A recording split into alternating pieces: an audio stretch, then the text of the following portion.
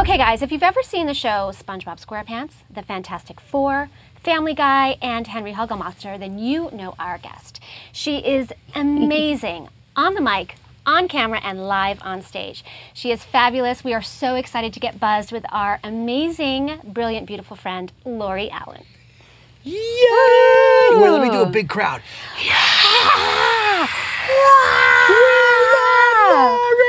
I love Chapin Put it there, baby.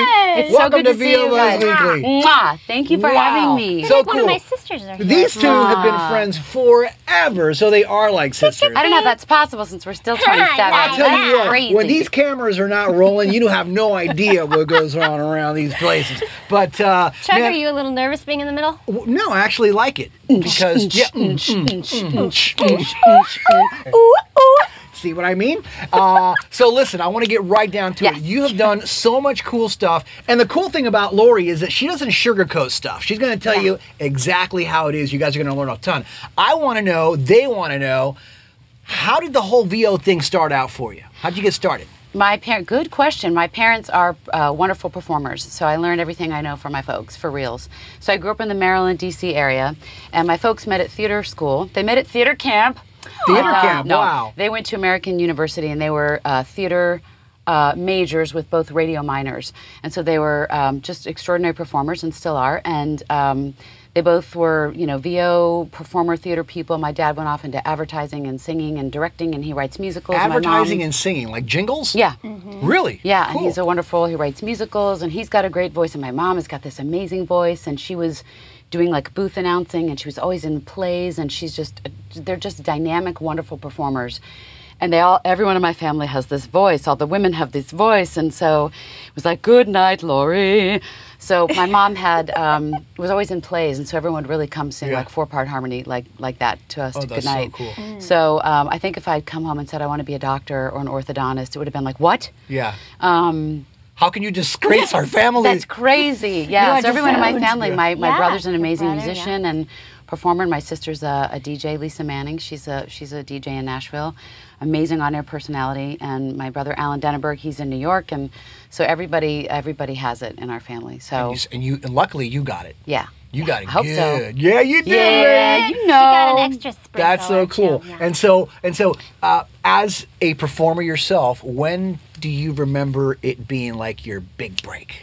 I remember um, what's the gr- the little story? Three blind mice. What is that? The um, the, the little the fairy tale thing. I was in kindergarten, or I think it was in kindergarten or first grade, and I got to be the mother of whatever that little three blind mice is, and I was taller than the rest of the kids at that age for some reason because I'm not especially tall or short.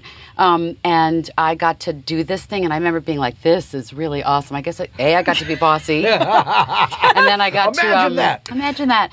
And then I just got I was I just got to play. I just got to do what came naturally to me, which is to play. And everybody played in my household. That there's Yeah, yeah. so much laughter and craziness and freedom and expressiveness that it felt awkward to not do that. So when I got to do that at school, I was like, I get to do this at school too. Yeah, yeah. So that it felt really natural. So I think it was like in f- like third or fourth grade, and then I just knew that that's what I Wanted to do. I was like, and I was, I, there was not a question. There wasn't um, you know, anybody telling me, well, that's crazy. It was always just encouraged and Yeah. supported, and Yeah. that is such a, a blessing. Like I don't even think about how amazing that blessing was. That like, yeah, of course. Yeah. And uh, what was your big your big animation show though? I mean, did, it, did VO start there in animation for you? Um, no, I started off doing um, commercials and stuff as a kid. My dad had us doing um, some for Giant Department Store. He also had us doing a spot for him for. Um, Your dad hired you? my dad hired me. My folks. See, you need a dad like hers. Yeah, what you need. exactly. My my parents worked and played well together. They still do, and they had. My dad it was for Shakey's Pizza, and Mm. he'd written this great jingle. Come on down, come on down, come on down to Shakey's for a change, a little change. So me and my sister and my cousins, we all went to Shakey's, and so back then I don't think we all knew that you could have a spit can. Right. And I can't eat wheat and dairy and pizza now because I'm gluten intolerant, not because it's LA, but because I just can't eat that. And um, because you OD'd on Shakey's. That's Exactly. right. So was me and my cousins and my dad had this cool like camera in our face, and we're all like, "Bleh," you know. so we were doing commercials back then. So I got into more voiceovers and theater, through uh, Emerson Theater School and NYU Tisch School of the Arts. And then it seemed like I got actually more into television work, Oh, more okay. on camera On like camera theater, first. theater Yeah. and television work. Which you're still doing a ton of. yeah, Yeah. yeah. In And fact, we saw you on a commercial. What was that? Geico. Oh, the Geico I'll believe that when pigs fly. Exactly. Sure, I That's a good one. And then and then it really occurred to me that I was like, what am I? Oh, what am I doing? I did voiceovers as a kid, um, and then I went to you know went off to theater school, and then I was like, wait a second. So I was dating a guy, and his mom did demos, and she was like really tutoring me, and I would run off and spurt you know spray perfume on people. That was my day job for a year.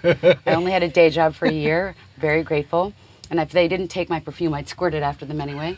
And um, and then that one thing led to another, and I made a demo, and it took off. And I started to really start off in promos actually, because I can talk fast and say a lot of things, I guess. And I was the voice of Lifetime. I was the first voice of Yes, Lifetime. I remember that. I didn't only remember know that. that. Yeah. and they always wanted really that to me cool. more. Now my voice was like scratching. Yeah. I'm sure I'd be like, only on Lifetime.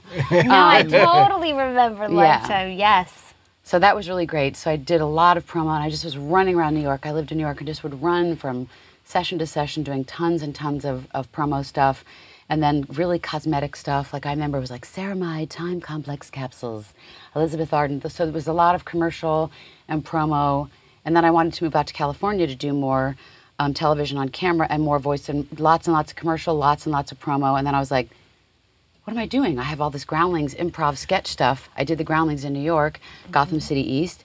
Um, Yada, my instructors, Austin Murphy and Hillary Stern, and I was like, what am I doing? Holy crap! I was like, I gotta do, I gotta do my stuff. And so I took a great class with Charlie Adler and Kris Zimmerman, like like Lorraine did. Yeah. Like uh, so many people did, and I took the most amazing class that changed my life, and that is how I got my first animated series, which is SWAT Kats, Mm-hmm. and um, I worked with Charlie on that show, and I think you have the cast list for me because Yes. yeah, it's uh, it Yes. was um, um, Jim Cummings. You were Lieutenant Felina Na Feral. Rear. Barry Gordon.